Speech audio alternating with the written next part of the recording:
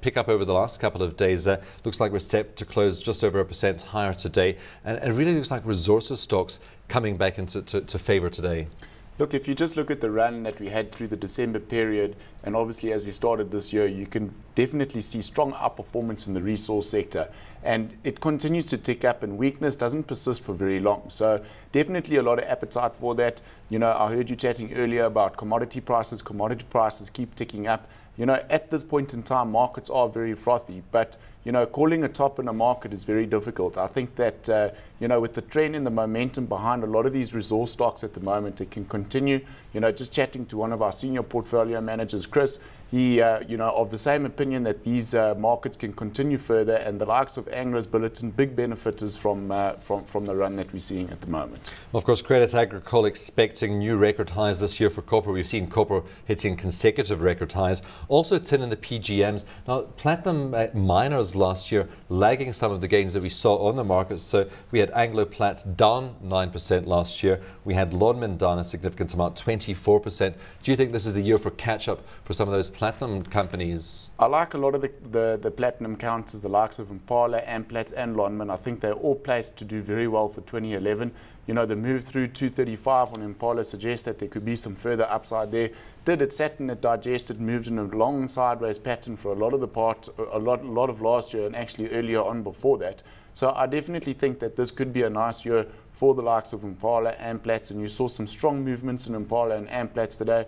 Lonmin tends to lag those two, two blue chip stocks, but um, I think that this definitely could be a nice year for those platinum counters. And I'm quite bullish on the platinum price as well. I think a lot of it is going to be demand driven going forward. You are seeing some pickup in a, uh, a lot of the data coming out of the east, and a lot of the car sales should start to pick up from the low base effect that we're seeing at the moment, and nicely placed to do well in 2011. Deryck, would you prefer to buy Anglo Plat or buy Anglo American itself? That was up almost 3% today, trading around 360 Rand. So you get the entry to the platinum uh, sector through Anglo Plat. You also get exposure to copper and some of the other commodities at the same time. I think what you've got to do is you've got to look at it from a client perspective and say, well, uh, what kind of risk exposure are you going to expose yourself to in the market?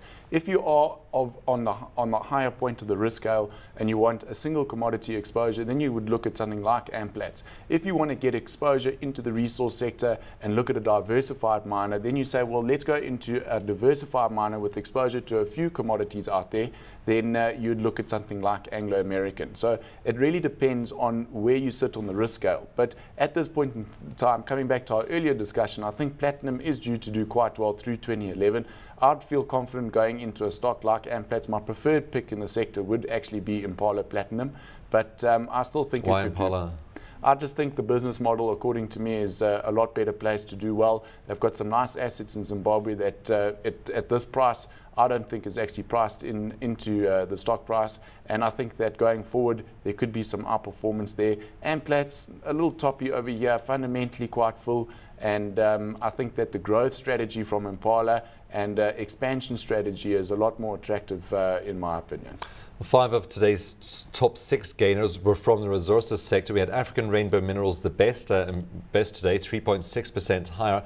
African Rainbow Minerals doesn't quite have the geographical diversity of your BHP Billiton Anglo American. What was your view on, on ARM? I like African Rainbow Minerals. We actually chatted about it in uh, October, November last year, and I think around that time it was sitting around 190 Rand a share, around those levels. And it's had a strong run. Once it moved through 200, it ran very quickly to 215, 212 traded in that range, and then obviously yesterday and today has been a strong performance from it. I think it's nicely placed. They've done some very good strategic acquisitions that's going to give it some nice fundamental kickers as you start to see uh, the next set of results reveal itself. So I'm quite bullish, and again, just generally in the sector, I think you do want to be overweight, overweight resources, you know, as we sit at the moment, and possibly for a good part of 2011. Sasol up 7.5% last year. Today it's up by 2.2%.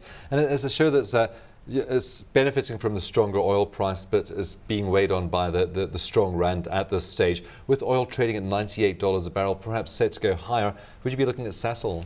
Look, it's had a strong run at the moment, and what you've got to look at in the very short term is you saw the rand strengthen just before the end of the year uh, to just under that 660 level. Now, what you've seen is you've seen these commodity prices run up, as well as a slightly weaker rand. So it's been a, quite a nice kicker for a lot of these uh, resource stocks that are listed on the JSE, where you've got the weakening rand as well as increasing commodity prices, which is what you're seeing in the last few days, where you have seen this this quick run in Anglo's, Billiton, Sasol's, a lot of these commodity stocks, Exxaro as well, making new highs. So look, it's a little bit toppy at this point in time, but I think that the momentum and the trend is definitely behind it. Uh, you know, as long as the, the, the oil price that you're seeing at the moment is demand driven, I feel quite comfortable waiting for weakness. I think at this level, maybe run a little bit hard, wait for a little bit of weakness uh, towards the 330 level, maybe a little bit underneath that, and look at accumulating some of those in a long term portfolio. Some of the industrials not doing quite as well today. We had SAB Miller down 1.5%, Vodacom down 1.4%, and then Renet down 0.7%. SAB Miller down 1.5%. Any cause for concern? Any, anything driving that? Look, I think SAB is, is, a, is a quality company, got some nice offshore exposure. Uh, you know, in any long-term portfolio, it definitely does make a strong component of a long-term portfolio. Um, no cause for concern. Again, um, my, my, feeling at this moment in time in the market, I think that the attraction is more towards the resource sector.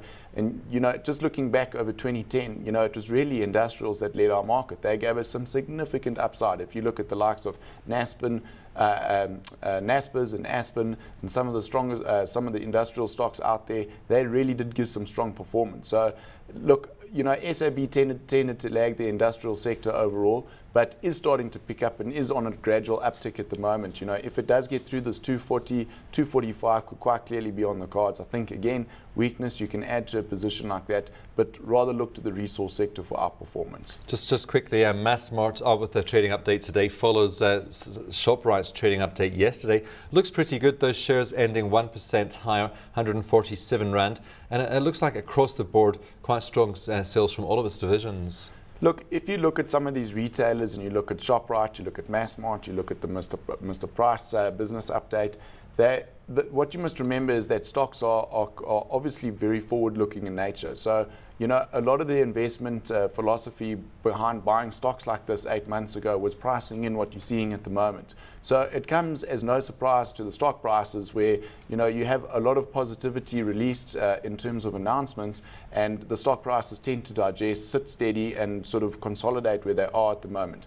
What's going to drive them forward uh, into 2011 is some, some further fundamental uh, backing behind them. So the next set of, of, financial results is going to be quite key. Increase in div dividends and uh, you know dividend policy possibly maintaining, increasing. So I think you know they're very uh, fundamentally driven stocks. And at this point in time, I think a lot of the good news is priced in. They're fully priced at the moment, but we do need to see the next set of financial results to see where some of these uh, stocks are going to take us going forward.